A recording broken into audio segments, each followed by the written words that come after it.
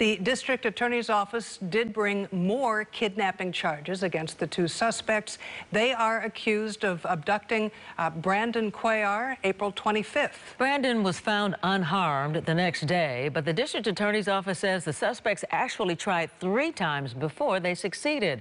KRON 4's Rob Nesbitt was in the courtroom today. He joins us live from San Jose with details on the new charges. Rob.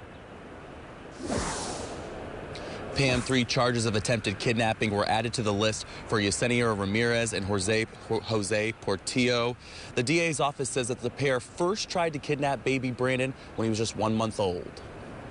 Yesenia Ramirez and Jose Portillo sat in court Thursday, one in front of the other, never making eye contact with each other. The DA's office says they were in contact for several months in an effort to take baby Brandon Cuellar.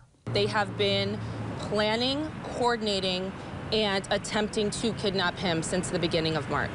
According to the DA's office, Portillo first showed up to the family's home on March 14th in an attempt to kidnap Brandon, posing as a child protective services worker. He eventually left after the family became suspicious and called CPS themselves. The investigation found that text messages between the two suspects showed they tried to kidnap the baby from a local Walmart twice, the first time at the end of March, and again the morning they were successful in taking Brandon from his home. I mean, it's absolutely shocking. This is, I think, any parent's worst nightmare. Defense attorney for Ramirez, Cody Salfen, maintained his client's innocence Thursday, saying she's terrified about the charges against her. These allegations are, are absolutely a first for her, uh, and, and she wants very much to get back to her life. Salfen says he hasn't seen the text messages that brought about the attempted kidnapping charges and questions their validity. We don't know who was behind those phones, and we also have an, the added layer of, of a translation from Spanish language to English language.